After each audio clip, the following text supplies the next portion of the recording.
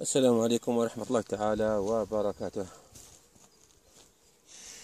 تاريخ اليوم هو الخامس من الشهر الخامس.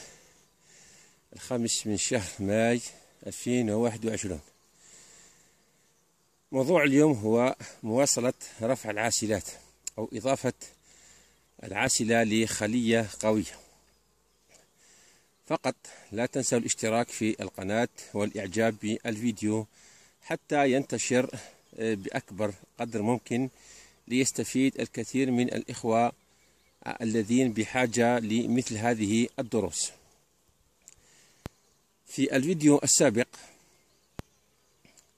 كنت كما ذكرت قد صورت عملية رفع العاسلة لكن الهاتف لا يسجل فاضطررت إلى شرح ذلك نظريا الآن سأقوم برفع العاسلة. وستشاهدون قوة هذه الخلية وكذلك طريقة آه، أو ما هي الإطارات التي سأقوم برفعها إلى العاسلة وكيف أقوم بتعويض هذه الإطارات التي سأقوم برفعها إلى العاسلة.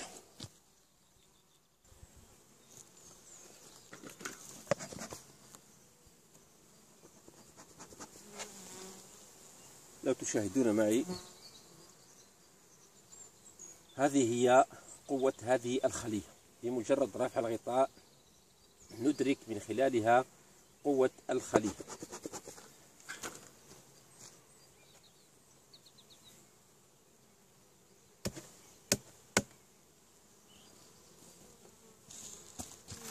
يعني كما تشاهدون هو هناك نحل كثيف أو نحل إضافي زائد عن آه، الخلية. هناك نحل كثيف جدا داخل الخلية أي أن هذه الخلية قوية جدا بحاجة ماسة إلى رفع العاسلة.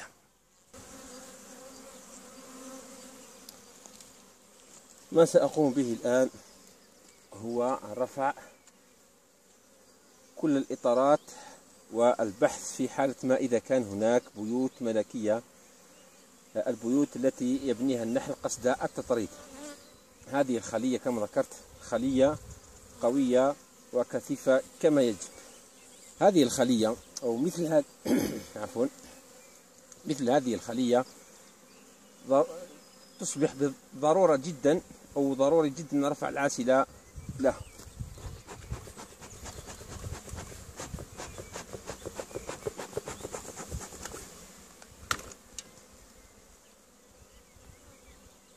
بسم الله.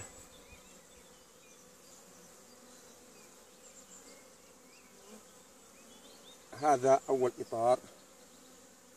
وهو عبارة عن حضنة مغلقة وكذلك من الجهة السفلية عسل مختم أي فيه عسل مختم.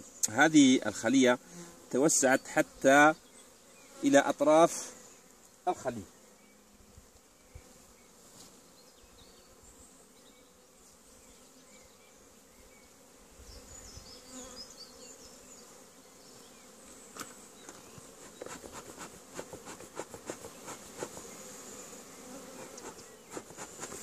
طبعا. الإطارات التي تحتوي على هلال العسل لا نقوم برفعها إلى العاسلة. أنا فقط وضعت هذا الإطار في العاسلة حتى أفسح المجال لرفع باقي الإطارات. نقوم برفع الإطارات التي فيها حضنة مغلقة فقط حتى أن الحضنة المفتوحة لا نقوم برفعها. إطارات العاسلة لا يجب رفع آه، الإطارات التي فيها عسل وكذلك الإطارات التي تحتوي على حضنة مفتوحة وكذلك البيض. نقوم فقط برفع الإطارات التي هي حضنة مغلقة كليا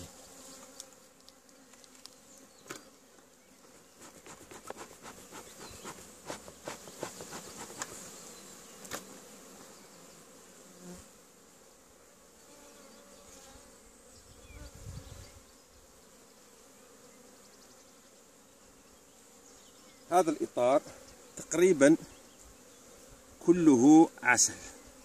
يعني الجزء الكثير أو الجزء الأكبر منه عبارة عن عسل. وكذلك هذا الإطار لا نقوم برفعه إلى العاسلة نضعه كأول إطار على الجانب ونقوم برفع الإطارات التي تحتوي على حضنة فقط. سأقوم برفع الإطارات ثم نواصل التصوير حتى لا يطول الفيديو. بعد اختيار الإطارات التي سنقوم برفعها إلى العاسلة في مثل هذه الخلية القوية جدا نقوم برفع حتى خمس إطارات ونقوم بتعويضها بإطارات شمع أساس. فمثلا في الدول الأوروبية حيث المرعى يكون جيد جدا يقومون بإضافة العاسلة مباشرة. لا يقومون برفع آه، إطارات الحضنة من خلية التربية إلى العاسلة. يقومون مباشرة بوضع العاسلة فوقها بإطارات مبنية. لكن عندنا في الجزائر وفي معظم الدول العربية لا نملك آه، المراعي القوية جدا.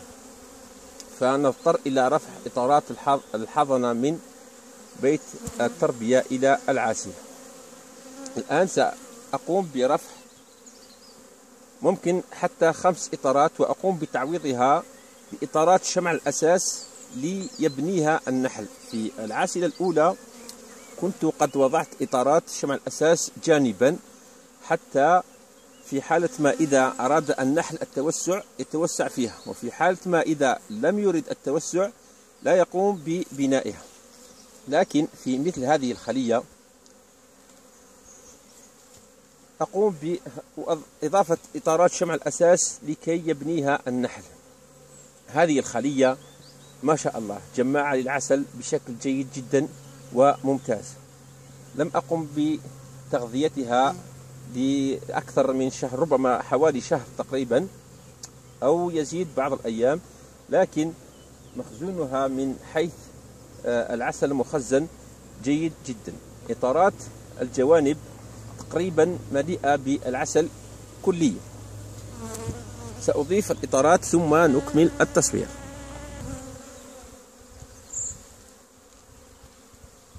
الآن قد قمت برفع خمس إطارات حضنة مغلقة. وطريقة تعويض هذه الإطارات هي كالآتي. إطارين اثنين من الخلية. هذا الإطار كله مخزون كليا يعني هذا الإطار مليء بالعسل. هذا إطار فيه حضنة مغلقة وكذلك هلال العسل. هذا إطار شمع أساس أضفته الآن وهذا إطار قديم من الخلية وهذا إطار شمع أساس بعد ذلك إطار من الخلية وبعد ذلك إطار شمع أساس أي اثنان واحد واحد واحد واحد واحد. ثم نختم بإطار آه، من الخلية بعد ذلك نضيف إطارين اثنين من شمع الأساس. أي قمت بتعويض الإطارات الخمس التي قمت برفعها إلى العاسلة بخمس إطارات شمع أساس. أنا الآن لا أملك إطارات مبنية. ففي حالة ما لو كانت عندي إطارات مبنية أضيف لها ثلاث إطارات مبنية وإطارين شمع أساس. لكن في هذه الحالة مع قوة هذه الخلية ونوعيتها وهي جماعة للعسل بشكل جيد جدا أقوم برفع خمس إطارات حضنة مغلقة إلى العاسية مع وضع الحاجز الملكي في نفس اليوم أي أقوم بتركيب الحاجز الملكي ثم أضع العاسية. بعد الانتهاء من تركيب الإطارات فكما تعلمون عند وضع الحاجز الملكي ضروري جدا أن تكون الملكة في الأسفل. فما سأقوم به الآن وأنني سأقوم بتركيب العاسلة بعد ذلك أقوم بنفض كل الإطارات حتى ينزل النحل كليا إلى خلية التربية. بعد ذلك بعد نفض كل الإطارات أقوم بتركيب الحاجز الملكي وأعيد العاسلة بالإطارات التي قمت بنفضها حتى أضمن أن الملكة تكون في بيت التربية وليس في العاسلة سأقوم بذلك ثم نواصل التصوير كذلك. أو قبل ذلك فكما شاهدتم في أول الفيديو هذه الخلية كانت نوعا ما فيها نوع من الشراسة. لكن بعد أن رفعت بعض الإطارات خمس إطارات إلى العاسلة.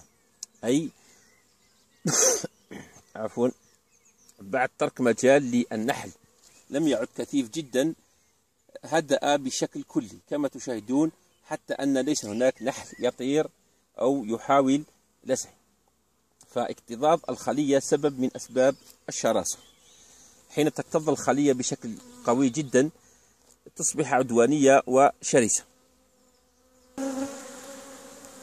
الآن بعد أن قمت بنفض كل الإطارات أقوم برفع العاسلة من جديد.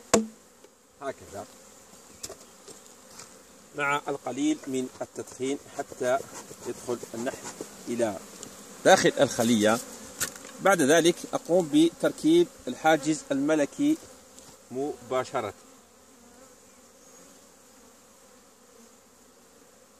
بهذه الطريقة السهلة والبسيطة جدا نقوم برفع آه، العاسلة بطريقة جيدة.